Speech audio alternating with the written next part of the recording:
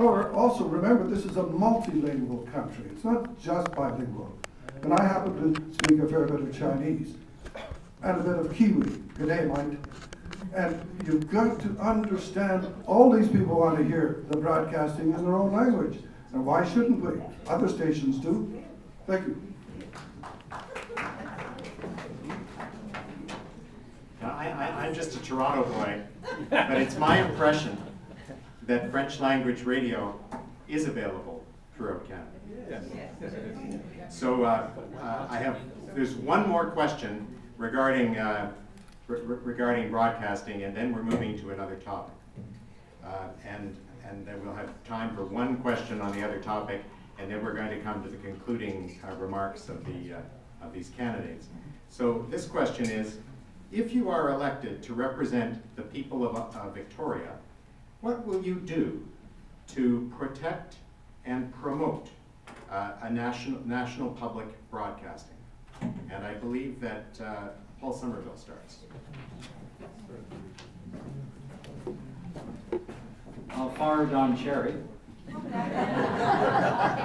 uh, the, the, key to anything uh, that's sustainable, um, as Liza Minnelli and Joel Grey sang in Cabaret, is money. Uh, it's one of the big issues that our city faces. Canadian municipalities face because uh, they're the poor, poor cousins uh, of the provincial and federal governments. Uh, so uh, an intelligent strategy uh, with clear targets that will allow the CBC and other public broadcasters to know what their funding base is going to be. And it could include the tax deduction that I've discussed on people's tax returns.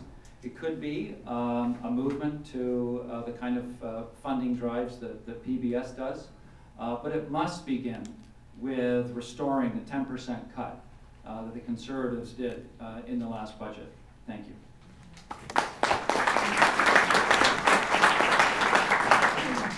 Uh, Don, you're next. The first thing that I would do is the obvious thing. I would uh, become the friend of the heritage minister. I would actually try and build some connection with Mr. Moore, who has the authority to do this. And I, I think that, I mean, it's a simple thing to say, but if you have authority, you don't want to be attacked by somebody who's biting at your heels all the, all the time. And that's the partisan environment within Parliament at the moment. But you do want to form alliances with people who share the same values. And I think that Mr. Moore has certain ideas that are, uh, are discussable. And I think to initiate the discussion with like-minded people in Parliament is the way to go. To actually express that this number of people came to this meeting, I think it's important for him to know that. It's important for him to know the depth of the, of the feeling towards this institution, that it's seen as being important. He can't be allowed to forget that. And how the conversation and should go, I think is, uh, that's, well, we'll see how it, how it happens but it's a conversation.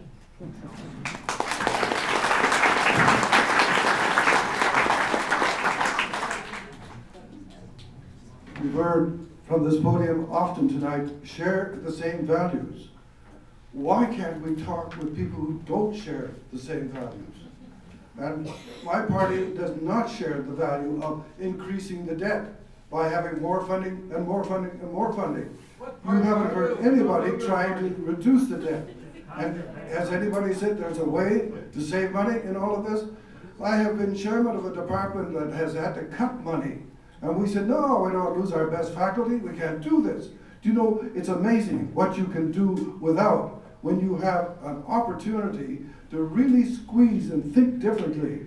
And CBC has got to think differently if it's going to survive. Because in my attempts to save money and reduce the debt is doing more for the CBC than all these other things. Do you realize that? Because CBC is very vulnerable and will be cut entirely trying to keep the country from going in debt. Think about that and vote for me.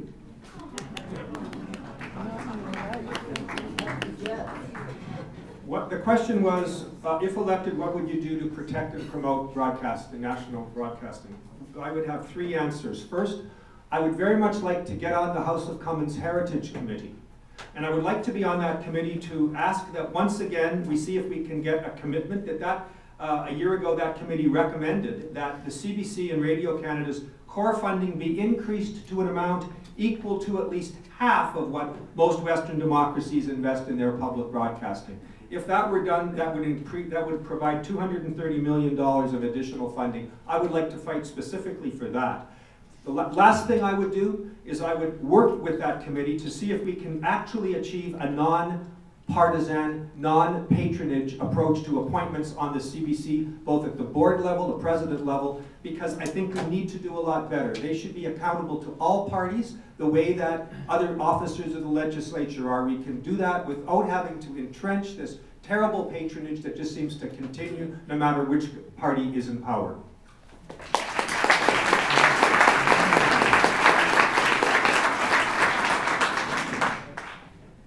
Now for something uh, substantially different. Uh, And by the way, I I put on my glasses not because this question is illegible, just because this person writes very small. Uh, There are two questions, but I'm going to mix them together because that's all the time we have. But there's a common theme. So how can we guarantee Beacon Hill Park will not be impacted by the sewage pipeline, uh, four foot diameter through the park, question mark. So that's the first part of it all. And then this one says, for Murray Rankin. Federal funding for a poorly conceived sewage treatment plant is not a gift. It is a large unnecessary tax increase. Why do you continue to push for this project in light of the scientific and medical opinions that you should be relying upon to oppose this project outright? Now, uh, that puts some pressure on you, uh, Murray, because uh, you only have 60 seconds to. But, uh, He, he hasn't answered it yet in this election. but the very, but the good news is that two people speak before you, okay? So, uh, uh, Don Galloway.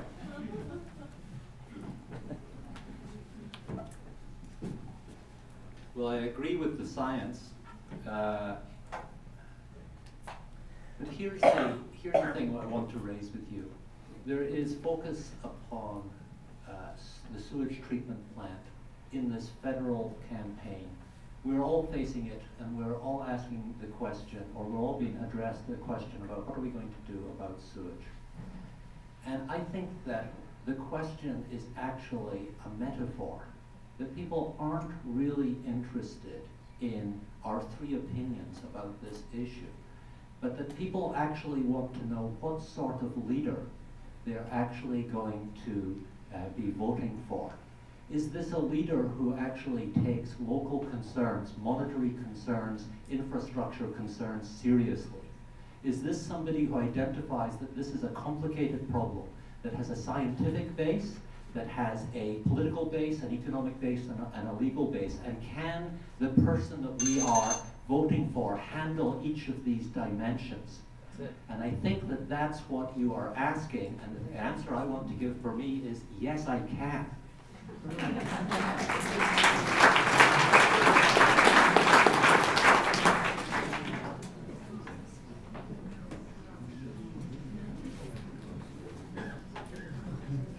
Well, ladies and gentlemen, I thank you. I'm glad you are sufficiently tolerant to let me speak.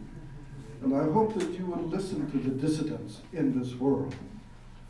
The sewer project is baffling. I mean, it's nonsensical. I'm a seaman, I go to sea all the time, I'm a scuba diver, I swim in this stuff, I'm a doctor. But the best and most effective treatment is actually a septic tank.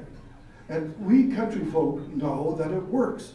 And then you put very clean effluent into the ocean, and the solids can be used for fertilizer. You ask anybody in the country. Ladies and gentlemen, the problem is our economic base, and it will continue to go down because we do not have enough Canadians. We do not have enough children. Welcome, children. All of them. Every little one that arrives. Welcome those children. They are here to build the country. And as a chairman of a department, one of the things we did in the university, and this was long ago, was start education as an exportable commodity.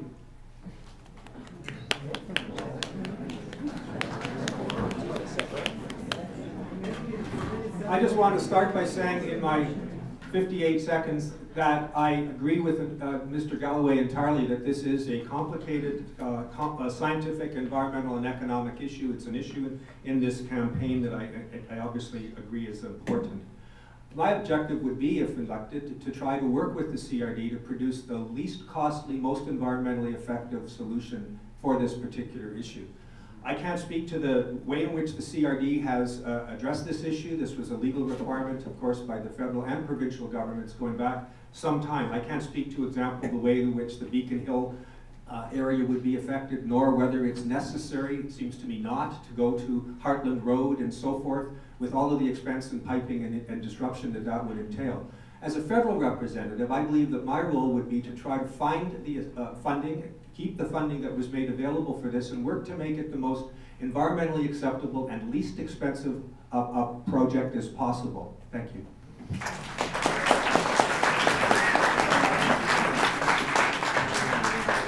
Well, we started our campaign uh, five weeks ago uh, and made a point uh, that the MAD plan, the billion dollar boondoggle, uh, the Triple P pipeline, the pressurized poop pipeline from McCauley Point to Hartland landfill, was bad economics, bad science, and bad Victoria. I was told by Stephen Andrew on CFAX that I was nuts and it wouldn't matter. Well, it does matter because it's not about sewage. It's about democracy. It's about science-based public policy, and it's about the huge tax increases that are going to price businesses and families out of the city of Victoria. It's bad science because the environmental uh, responsible solution we're using now is the, using the best available technology. It's bad economics because it threatens to bankrupt our city as the costs spiral out of control. And it's bad for Victoria because we should be investing in storm sewers and streets and services help me stop the billion dollar boondoggle. Thank you.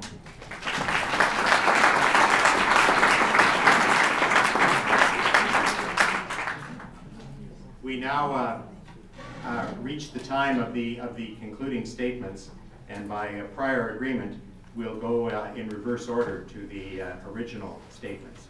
The final statements are two minutes each, but just as the, uh, these candidates are preparing for that, I just say that um, the last question reminded me of a, an anecdote from Sir John Macdonald, just vaguely. Uh, and he once had to stand on a manure spreader to speak to people, and, and he said, This is the first time that I have stood on my opponent's platform.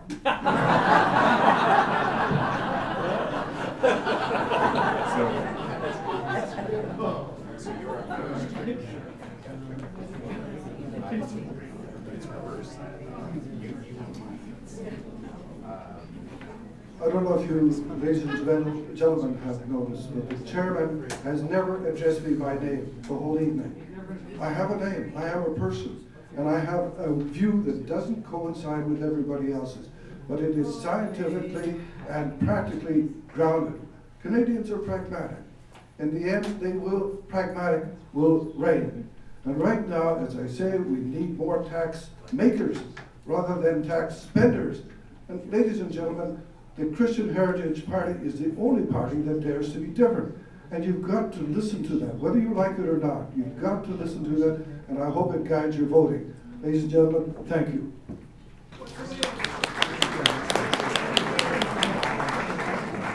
So, so you were, so you're second last. So you also.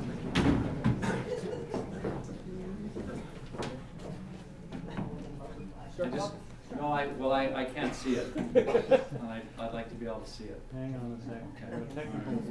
What, what that means is that there's a, a very visible computer-based two-minute clock, and uh, There it it's now ready to go. Ichi, Ni, San. I'm here tonight because liberals are proud of the strong, caring, and prosperous country liberalism made of Canada that includes unwavering support of public broadcasting.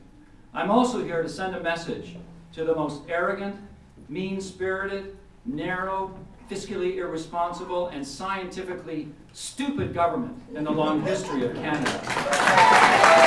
Stephen Harper is a practitioner of the poison politics of anger and divide.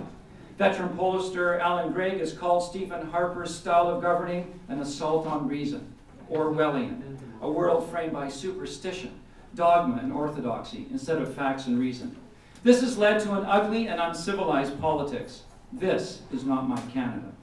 The Harper legacy in six years includes gutting carefully constructed environmental protections, reducing support to public broadcasting to starvation levels, and turning our prisons into crime schools with mandatory sentencing. This is not my Canada. What century do we live in when a female minister of the crown, responsible to protect all women, votes for a bill that could slam the door shut on a woman's right to choose? This could never be my Canada. Liberal politics are different. They are the politics of inclusion and empathy, facts and evidence, not dogma and ideology. Yet, dogma and ideology is forcing on Victoria a sewage plant that we don't need, that will have a severe financial impact on seniors and students because of huge tax increases. It's bad science, it's bad economics, and it's bad for Victoria. Finally, what is my vision for Canada? It is that any child born into a family of limited circumstances can dream a live, dream and live a life of unlimited opportunity. That shared chance of being Canadian should be told by a Canadian public broadcaster. Thank you.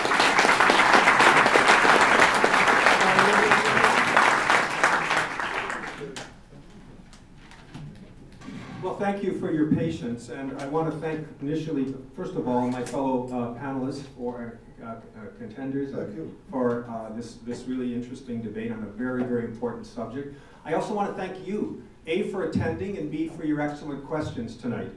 Um, I want to thank Friends of Canadian Broadcasting and Mr. Morrison for convening this and making this discussion about such an important topic possible.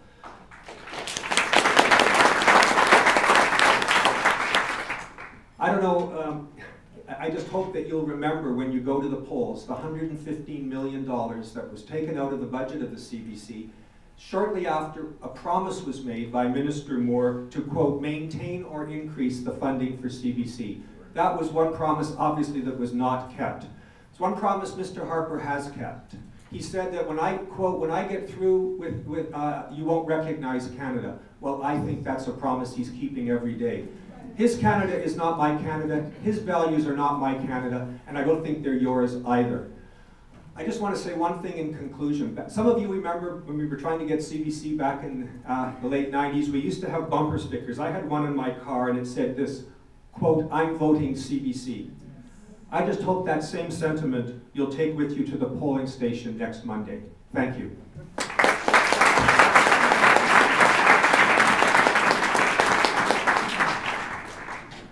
I came to Canada in 1975.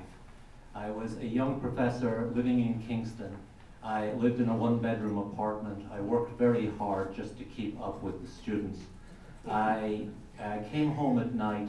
I turned on the radio. I'm not a big television fan, I'm sorry to say, but I turned on the radio. And within my first year, I learned how to be a Canadian. I gained my identity as a Canadian through the CBC radio. It was, I learned about who our icons were. I, heard, I learned about who our artistic leaders were. I learned about the debates that define us. I learned from intelligent, sensitive individuals. I learned how to become a citizen through the CBC radio.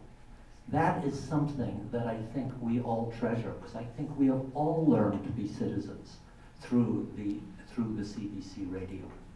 I then became a scholar of citizenship law. There's very few of us around. Uh, knowing how to think about citizenship law, knowing the history of citizenship law uh, is something that is very important to me. I have discovered in studying citizenship law that there are many views of citizenship that governments can take to the subject. Some of them are remarkably hokey. I think in the, uh, in the 1990s, when the citizenship uh, laws were being changed, there was an idea of having a sort of hallmark poem as the preamble to the Citizenship Act. It was dreadful, it was, uh, but it was dismissed quickly. Some of the views of citizenship are that we have to live with from government are depressing, such as the ones that we're living through now, on Canada Day when Mr. Harper says that Canada is a warrior nation. I just cringe because that is not my view of who we are or of our history. We have to relive our history through our own experiences.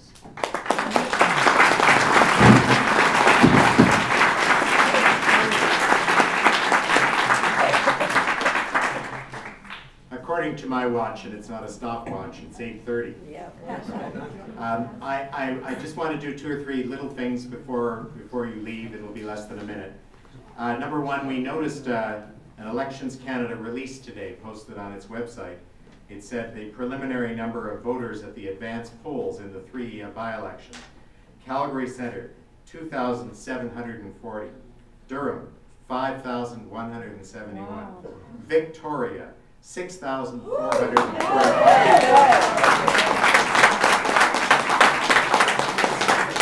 Kind of dwarfs the 3,250 families who support the Friends of Canadian Broadcasting, unless you accept that there might be two voters in each area. So, um, I wanted to thank the uh, Victoria-based volunteers, all of them supporters of our cause, who worked so hard to put this together and other things that have happened during this by-election.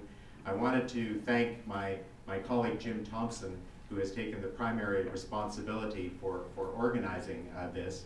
And I, I wanted to thank all of you for coming. And last but not least, uh, to these candidates for, uh, for presenting themselves for, uh, for your evaluation tonight. Thank you very much.